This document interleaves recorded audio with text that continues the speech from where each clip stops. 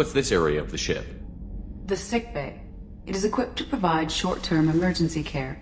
In the event of critical injury, personnel must be transferred to a fully equipped medical facility. Commander Shepard. I watched the Normandy crumble with you on board. It's good to see you alive. Nice to see a familiar face, Doctor. I feel the same. I wish more of the original crew could be here. The kind of trauma you endured would have changed most people. But not you, I see. Welcome back, Shepard. Do you have everything you need?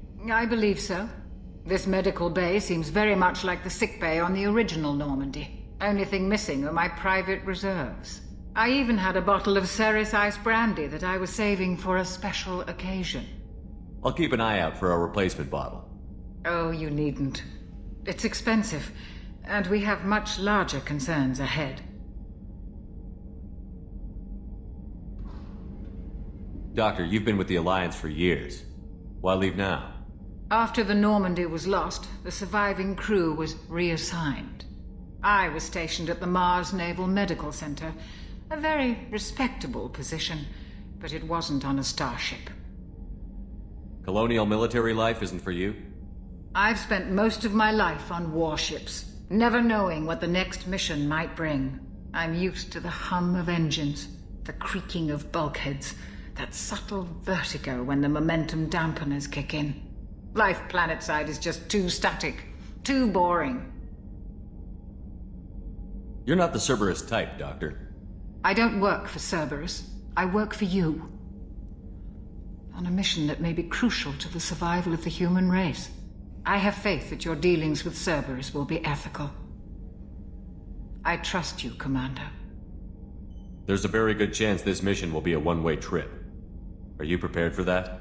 I've been through the reclaiming of Shanxi, the Skyllian Blitz. We survived the Battle of the Citadel and the destruction of the Normandy together. I've lived a full life. No regrets. I'd like to make sure the crew gets the same opportunity. I'll see you later, Doctor. Commander,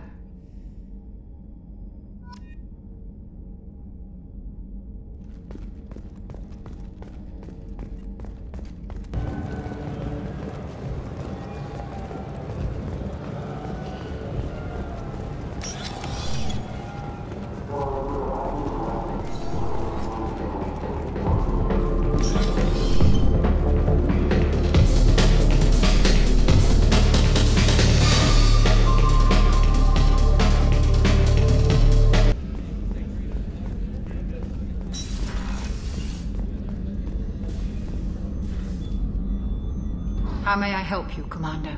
I have a present for you, Doc. Serrice Ice Brandy? You didn't. Thank you. I always regretted not opening that original bottle when I still could. I won't make the same mistake again. Why don't we open this bottle right here, right now? You and me. You crack open the bottle. I'll get the glasses. I thought Alenko's biotic display might have broken Jenkins' back, but Jenkins pops up and yells, That was awesome! oh, Jenkins. Soldiers like him make the Alliance great. Cerberus lacks the same enthusiasm. With your service record, you could have gotten a tour of duty on any Alliance ship. Why'd you really leave? Maybe it's less about leaving and more about staying. As a military doctor, I mostly treat people who are in bad shape. Often they die. And if I can help them, they move on.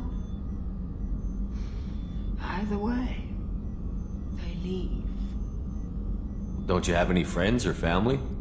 No, not lacking friendship. Just stability. Jeff.